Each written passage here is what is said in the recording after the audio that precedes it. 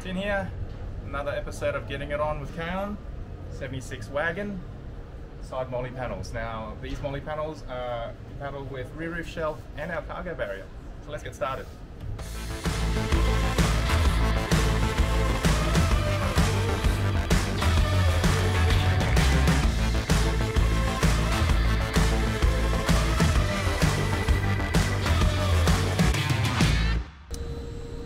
Back here. The install uh, is pretty straightforward, but there's a couple of little things to consider. Now, the mounting points up in the roof, we've got one that's easy to locate, and there's another one here. Um, you can use the bracket to locate it. And the other thing we need to do is we actually need to nutsert uh, a couple of mounting points in the frame down the bottom there. So we'll have a look at this first. Now, this mounting point's easy because just lift this grommet off and there's an M6 captive nut behind there. What we can do, we can use this bracket to locate the second hole. Now this bracket here is on the left hand side, it's got a little notch. The corresponding Molle panel is also got a notch so you can get the, uh, the right Molle on the correct side. Um, notice also that this bracket, the flange faces inwards. So we're going to just put this up in here first.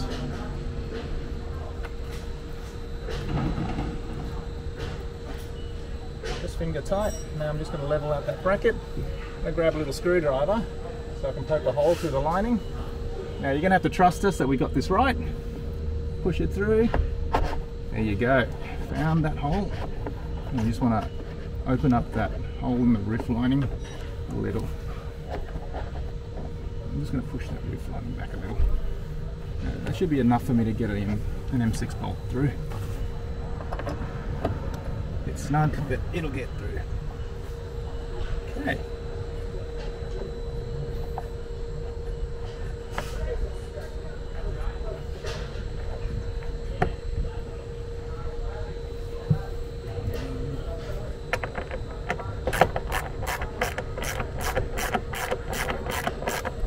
Now we want to sort of, it's slotted, but we want to sort of get this position in the middle and level. And we'll just nip that up a little not too tight because we're going to want to adjust the position. Now grab your bottom bracket here. Now this one here, it's got three points there, but that's for the prototype. We've actually realized that we only need the two mounting points here. So we need to drill two holes for two nutserts in the bottom there. And the way we're going to do that is we'll attach this to the Molle panel, attach this to the top bracket, and we'll mark those holes. So I'll go grab the panel now. Okay, we got the panel. This is the correct side. It's actually got a little notch on the top to correspond with a little notch on this one. Got the bottom bracket. What we're going to do is attach it temporarily with the M6 bolt-on washer.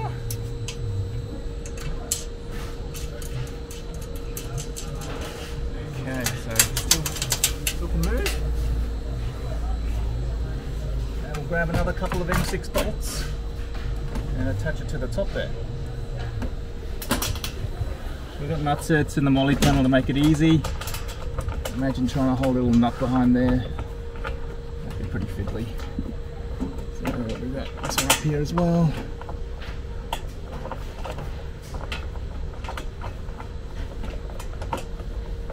Now we recommend uh, nutserting this bottom bracket there, but if you if you want to try using an adhesive, a double-sided tape or, or, something like that to, to, hold that bottom bracket in, we recommend you use uh, a 3M Dual Lock. And what you can do is you can put that tape right across the bottom. But uh, in this case, we, we do recommend the nutserts much much sturdier, much more uh, secure way to mount it.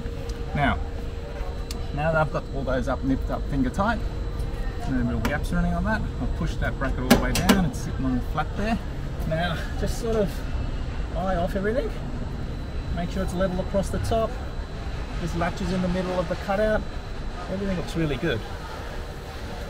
So now, I've got this bracket in here pushed down, it's up against the frame.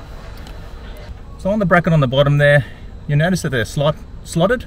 So what I recommend is you mark the center of the bottom arc because what that allows us to do later is adjust the position of that bracket. So we'll mark it right in the middle, just make sure it's correct, and I'll do the other one as well. Now we're going to remove that you know, drill some holes. Okay, we've got our marks there. Now uh, we're using M6 nutserts. We need a nine and a half mil hole or a 10 mil will be okay too. We're going to use a uh, step drill. Now this this makes pretty easy work of drilling through sheet metal. Um, using a normal drill you can often sort of push through but if you are going to use a normal drill I recommend uh, starting with a, like a 3 mil pilot and then opening it up to 9.5 mil. Okay so yeah a good idea to, to put something down to collect all the, the swarf coming off. Nothing worse than trying to pick out all the bits of steel in your carpet.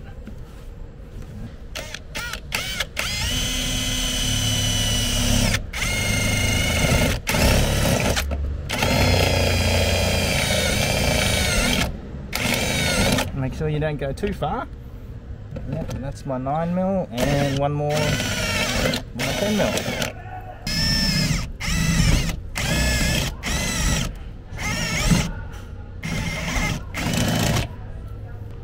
Once these are drilled, it's a good idea to seal up those um, exposed surfaces with some sort of paint. Don't tell the missus I stole her nail polish. It makes it nice and easy. Nicely touch that up.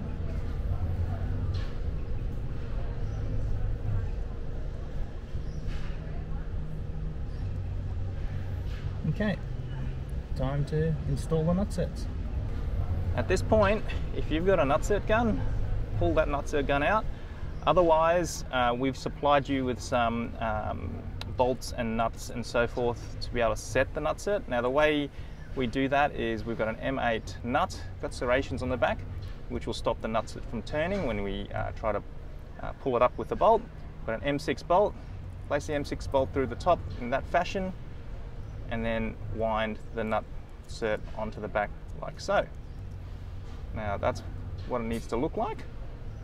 And what we, what I like to do before I try to set the nutsert in the hole is I actually like to start setting it outside. So get, get a 13 mil ring spanner, put it over the nut. I like using a ring spanner because it helps hold everything square. And with your Allen key, just start turning on that. And you can see this is not turning, but it's actually pulling the nutsert and starting to set that. And you can see there's a little bulge there, which is what you want. That means it's starting to collapse and it won't rotate. Now at this point, this is where I put it in the hole.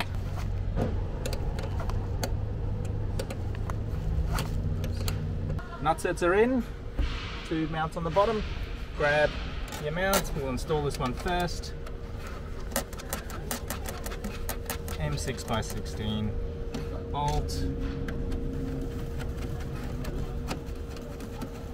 And what I like to do is I like to pull that forward and tighten that up. That'll allow a little bit of a gap down the bottom.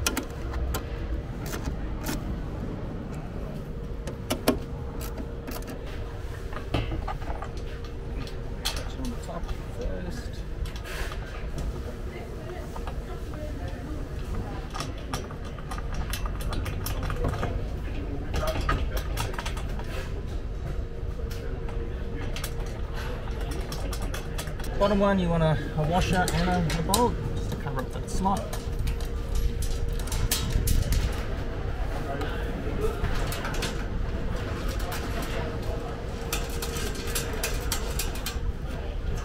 Now we just want to nip everything up and then we'll adjust the position before we tighten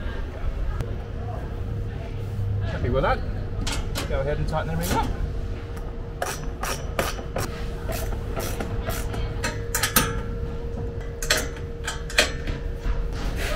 That's it, we're done, they're in. They look fantastic. We've made them nice and um, sort of slimline and, and, compact. Heaps of storage space, got the holes there to mount Quick Fists, extinguishers, etc. All these are Molle compatible uh, holes, your pouches, your first aid kits. Um, also compatible with the rear roof shelf, the cargo barrier. So um, really good addition for that extra bit of storage.